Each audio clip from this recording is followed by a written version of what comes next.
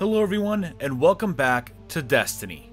The big meme with this game that's been going on for months is that Destiny 2 is just Destiny 1.5. Well, not only is that not true, but in many ways I kinda wish it was. That would imply that this is Destiny Year 4, and this game couldn't be the farthest thing from that. Destiny 2 was described as a giant reset button for the franchise, and while I'm thankful for them having the courage to hit that reset button, there are many parts of the game that suffer as a result.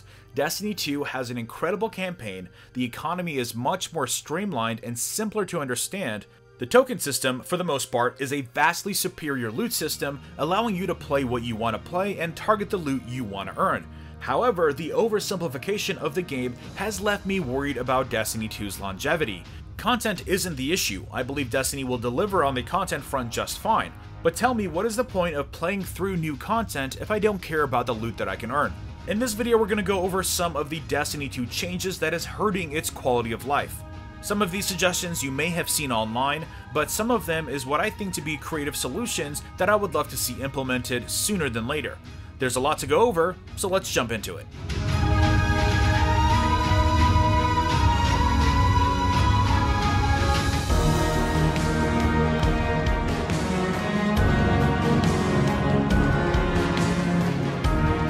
Preface by clarifying that I love Destiny 2. I think it's a vastly superior game to Destiny 1 in so many ways. The game is super fun to play, is much more approachable for new players, and the stories told throughout your playthrough are beginning to seriously satiate my appetite for story and lore. All of the elements of the game are masterfully woven into an experience that will no doubt only get better and deeper over time. They have created a much more solid foundation than they ever had in Destiny 1, and I'm super excited for what it means for the future of not only Destiny 2's life cycle, but the whole series moving forward. Having said that, the game is clearly designed for the more casual audience at this point. It feels like they're doing the opposite of what they did with Destiny 1 start simple and get people in, and then slowly begin to layer on the more complex for those who end up sticking around for the long haul. Now that does imply that this video may not even be necessary since they might be fixing a lot of this over time, but as they have proven to us over the years, Bungie is very good at listening to its community, so I wanted to make sure to voice those opinions either way. Anyways, moving on to the first way the game's longevity may be hurt is through the lack of excitement for the gear you're chasing. Better Devils is an incredible gun, probably my favorite kinetic in the game right now. However, once I have one Better Devils, I'm done. Any subsequent Better Devils I get is instantly trash. This is a shame because by this point, there's a good chance that most non-casual players have already found the loadout that works for them. The only interesting weapons at this point are those from the faction rallies last week, or the trials and raid weapons that you don't already have. Even then, thanks to Reddit and YouTube and Twitch, you already have decided on which weapons you're going to like ahead of time. Most of this is due to the locked perk system for all of the weapons. It is a fact that there are more weapons in Destiny 2 right now than there was in Destiny's vanilla release, but it feels like there's less because they can't drop with random perks. Better Devils comes with explosive payload and that's it. Prefer it with Outlaw? Too bad. This system is obviously in place to prevent any one gun from becoming overpowered. Since Bungie can design every single gun in the game from the ground up, and therefore can balance each gun from the ground up as well. My solution to this isn't anything crazy, just make each weapon have three possible rolls. That way, that's a bit more exciting when you're opening packages, and you can customize your loadout a bit more to your playstyle. Having a few different versions of the same gun would let Bungie essentially triple the number of weapons they have in the game. Either that or actually triple the number of guns. Bungie has said that there are more weapons in the game that is yet to be released before the first expansion. Now, I think that just refers to maybe the faction rally weapons that we saw last week and the Iron Banner weapons, which we'll see this month, but hopefully there's more. I would like to see some more stock weapons introduced into the game, basically something to let me chase gear. The locked perks combined with how easy it is to get legendaries now make it feel like there are less weapons than there were in any other version. And this leads into number 2, which is vendors. In Destiny 2, every single vendor in the game works off of a reputation system. That means that you have to go out and do activities pertaining to the matching vendor, collect tokens, and cash in 20 of those tokens for a legendary package, which contains two items. I actually love this system, it allows for the ability to grind for a specific gear set, however it does feel a little too simple due to the fact that there is only one way to get the gear you want. Yes, there are legendary engrams and random gear drops from the Nightfall and treasure map chests, but that's even more random of a selection. I think Destiny 2 needs a way for you to get specific weapons. I miss how vendors worked in Destiny 1, meaning NPCs with a selection of weapons to purchase directly instead of taking your chances with a random package. Age of Triumph started to go in a really good direction with re-rolling perks on the guns, which kept things interesting. They could meet us halfway by having certain pieces of gear available for sale each week, give us maybe one kinetic, one energy, and one power weapon from the set, plus maybe one or two pieces of armor. This could utilize the varied weapon perks from point number 1 to make things even more exciting. Will Shaxx finally be selling the Outlaw Better Devils this week? You'll be excited to find out. Also, this would make another really excellent dump for legendary shards or even straight glimmer. The third topic is armor perks.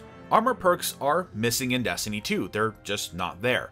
At least the unique perks like Angel of Mercy anyways. In their place is the mod system, and to its credit, it's a very effective system, it's very streamlined, very approachable, and very straightforward. And you could argue that it's the ultimate in customization. It's a transmog without having to be transmog. You don't have to change armor to do something else if you can choose it in the first place. They make up with this with their new exotic armor pieces, which are very specific and kind of go hand in hand to give you those extra armor perks. And for the most part, I'm okay with that. However, this sort of makes the armor sets in Destiny 2 more of a cosmetic choice. Yes, you now have the mobile, restorative, and heavy armor sets focused on agility, recovery, and resilience respectively, but that's it. For all intents and purposes, there are three sets of armor. So if you're putting together a recovery set, you just have to choose which of the recovery sets in the game looks the best to you, because that's the only difference.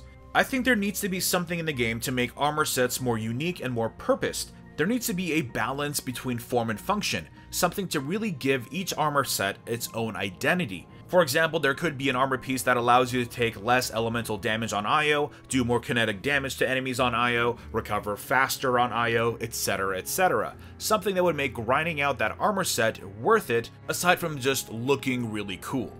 And the worst offender of this is Raid and Trial set, and throughout the rest of this video you're going to hear me make references to Bungie spending 3 years perfecting certain quality of life systems, only to completely abandon them and reset the progress. Raid Armor in Destiny 1 granted you perks that helped you out in the raid. All of that is missing in Destiny 2.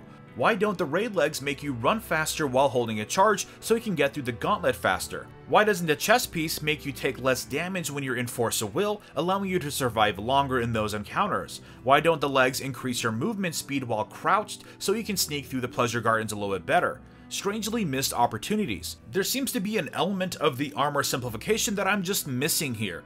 Either that or it's not complete and we should be getting more mods later on, we'll have to wait and see. Maybe with prestige mode, who knows. I'm a fan of sticking with the mod system for this, but just make them raid specific mods or something along those lines. I currently have no reason to wear the raid set, and to be honest, I'm not a huge fan of the look, so I really have no reason. With Wrath, I didn't love the way it looked, but I still wore it because it provided those additional perks. Those perks made that set special. This next point is a big one and the one I'm probably the most irritated with, and that is strikes. With one very specific exception, all of Destiny 2's strikes are awesome. In fact, they are some of the best strikes I've ever played. The shame is that you have no reason to play them. This of course is in reference to the loot system for strikes. For completing a strike, you are rewarded with a glorified public events chest plus 5 Vanguard tokens. That's it. No keys, no strike-specific loot, nothing. And in the time it took you to do one strike, you could have completed 4 to 5 public events, getting you 4 to 5 times the loot, and probably a couple of legendary engrams, which you could decrypt to probably get the Vanguard gear anyways. It boggles my mind that Bungie has spent 3 years to figure out how to get you to play strikes, only to dump it all and take it back to where it was in Vanilla D1. Over 3 years, they massively improved the reputation system, and they introduced strike-specific loot, and later on perfected the system with skeleton keys to guarantee that loot. Instead, now we have no reason to play them. Every 4 strikes, you can trade in enough tokens to get a Vanguard package, which granted does have its own loot table, but it's nothing special and stuff you probably already have from other engrams and different quests in the game. At this point, I have played more Nightfalls than actual strikes, and that's just sad. Strikes need to give you a reason to play them, maybe a guaranteed legendary at the very least, more rewards, more tokens, something. But that's just a short-term fix. What they really need is strike-specific gear. We also need the skeleton keys to come back. Keys are part of the Leviathan loot system, so it's not an abstract concept for D2. And on top of all of that, we should be able to queue into the strikes we want to play. Maybe have them show up as banners in the world that you have to interact with, kind of like adventures. I would be okay with restricting the ones that you can select to those that are in the current Flashpoint destination. So for instance, if you wanted to farm the strike-specific loot from the Inverted Spire or Exodus Crash, you have to wait until Nessus is the flashpoint, and maybe they could have heroic versions of the strike that grant you even more loot. These are just ideas off the top of my head, so that's why it boggles my mind as to why it's so plain and simple right now. The issue with strikes is definitely a heated topic in the community right now, and I know it's a popular opinion, so hopefully some changes are coming sooner than later. Next up is the Adventure and Lost Sector system. At the endgame, there really is no incentive to play through them. I'm playing through adventures right now simply because of the story and lore they provide, and while that should be enough, it's a shame that rewards don't stack up. I think Lost Sectors should at the very least be a better source for Glimmer or mods or Sparrows, stuff that actually helps in the endgame adventures do sort of scale with you, but they still feel a little shallow in the rewards department. Everything just sort of pales in comparison to public events. The ultimate dream would be to load into a destination and just do everything around me, but right now I just want to head over to those public events because they're the only thing that seems to be worth my time. The fix for adventures could be again some more exclusive gear for those adventures, maybe an awesome cloak, or even a specific gun. Here is where I think reskins could be okay with maybe different patterns or different specs maybe a lore tab to give you a summary of what you just did, something to kind of commemorate your time. Or at the very least, change the rare gear reward to legendary if you're level 20. That should be pretty straightforward. Patrols are just awesome in the end game, I never thought they would be, but we just need the rewards to catch up a little bit. The final topic I want to go over is secrets. There is a serious lack of secrets to discover in Destiny 2. Dead ghosts are gone, which is whatever, but there are also no time-gated quests, no alternative ends to missions, at least none that we've discovered. In The Taken King, all of those secrets were revealed within the first month or so. The Sleeper Simulant quest, No Time to Explain, Black Spindle, all of those blew our minds. They were some of the best content deliveries in the game, and it made the whole community come together to solve them. How this is lacking in the game at the moment is beyond me. Bungie must know we love this kind of content. The game needs more passive mysteries to discover. Scannables are sort of the replacement for this, but they're super brief, just kind of like a throwaway comment, and there's no way to track completion. One of the coolest parts of Destiny was the mystery that it held, and that seems to not be there right now, which is a huge shame. So in summary, while essentially rebooting Destiny was the best thing for the franchise, I hope it doesn't take them another three years to implement the improvements that proved to be so essential in Destiny 1. I have the utmost faith in Bungie that they will start to deliver content and quality of life improvements that we're really going to appreciate, and I know this is just a starting point for them, so I am cautiously optimistic that it's only going to get better. I just wanted to voice these out and get your opinions as well on what you think on these systems. Also, be sure to leave a comment down below and share your thoughts on what you think might be some interesting fixes to these problems. Let's discuss. Anyways, before I go, I wanted to quickly remind you that in case you missed it, I did decide to extend my shirt sale for another week. You can get 30% off my channel shirt by using code FF30 at checkout. I'll leave the links down below. Also, a huge thank you to everyone who has been ordering the shirts this past week. Your support is greatly appreciated. So again, thank you. Also be sure to drop a like if you enjoyed this video and subscribe for more Destiny content. And I will see you all next time.